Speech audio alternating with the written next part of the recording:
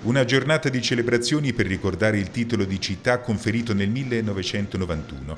La Domenica di Monte San Savino ha assunto il colore della festa per ricordare un momento fondamentale nella vita del centro della Valdichiana. Il titolo di città che le ha conferito un posto di onore nel territorio aretino. Le celebrazioni hanno previsto una serie di eventi, tra cui un concerto, la cena di gara nel giardino pensile del comune, a cui hanno partecipato le principali autorità della provincia, presenti tra gli altri anche il nuovo procuratore della Repubblica Gian Federica Dito, la presidente della sezione penale Anna Maria Loprete e il vescovo Andrea Migliavacca.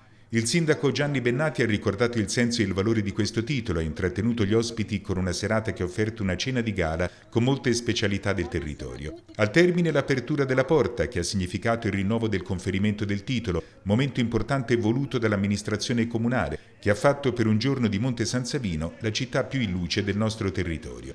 Soddisfatto il sindaco che ha applaudito alle mille iniziative ideate per sottolineare una giornata di festa. I fuochi d'artificio hanno chiuso una domenica che Monte San Savino di sicuro ricorderà. L'estate savinese proseguirà con una serie di eventi in gran parte dedicati alla musica.